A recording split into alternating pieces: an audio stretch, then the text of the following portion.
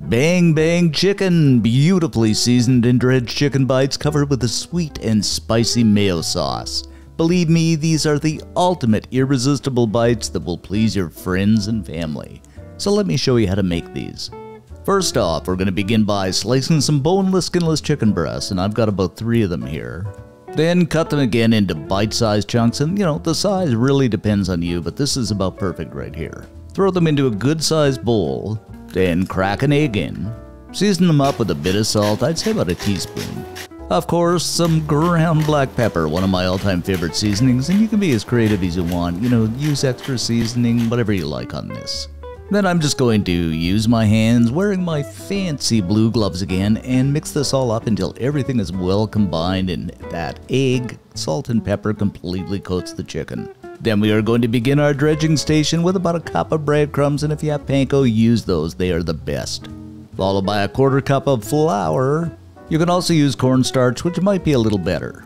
Then that wonderful seasoning, starting with a teaspoon of onion powder, another teaspoon of garlic powder, some smoked paprika, about a teaspoon.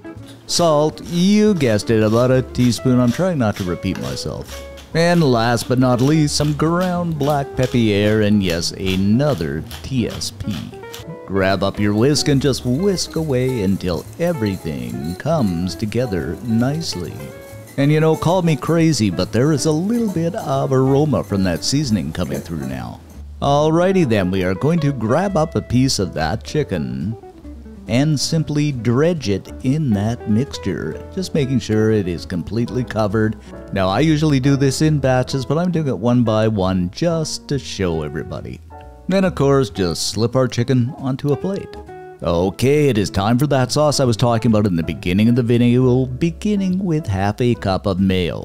And as always, I'm using Hellmann's, but you can use the mayo of your choice a good tablespoon of sriracha. I always like saying that word.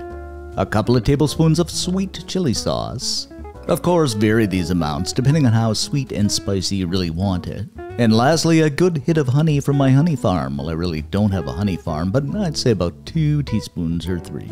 As always, and once again, a mixing we will go until that sauce comes together and you are going to get a nice, beautiful kind of orangish, that's kind of hard to say, sauce. And this looks incredible, and of course, give it a taste depending on, you know, what you want. If you want to add a little more sriracha, go ahead, or a little more mayo, or even a little more honey. Okay, I'm going to add some oil to my frying device, and I'm using vegetable oil here, but you know, you can use peanut oil, canola oil, whatever you like. And after that oil's in there, you're going to heat this up to about 350 degrees Fahrenheit, 180 Celsius. And if you don't have a thermometer, just drop some flour in. if it sizzles, it's ready. In with the chicken, we're going to fry this up in batches, you know, depending on how big your frying device is. In my case, I'm getting about 10 or 12 pieces in there, and it's not too, too crowded, so that's about perfect. And we are going to fry this up, of course, turning occasionally for a few minutes until it is a beautiful golden brown. And I don't know, to me there is just something about deep frying that is very satisfying. Maybe I'm just weird. After our chicken is done, I'm just going to remove it using my fancy dancy kind of spoon thing here. And set it aside on a wire rack just to drain any of that excess oil. But I mean, anyway, to me, this chicken looks just fantastic, guys. Of course, once that oil is drained off, we are going to snag this up and simply put it into a bowl. Then and only then you're going to drizzle that ever so delicious sauce over top of that chicken. oh, isn't this looking incredible, my friends? Wow, wow, wow is all I can say. And to add even more to the wow factor, I'm going to garnish this up and make it all pretty with some chopped up green onions. You can also use parsley or cilantro. And there it be, guys, our bang bang chicken. I even like saying the word. So simple, so easy, so delicious, and such a crowd pleaser. And you bite into this, it is absolutely incredible. I mean, that chicken is seasoned well, but that sauce is just out of this world. It's a little bit on the crunchy side, not terribly crunchy, but not too bad. But it is just simply delicious. A must, must make.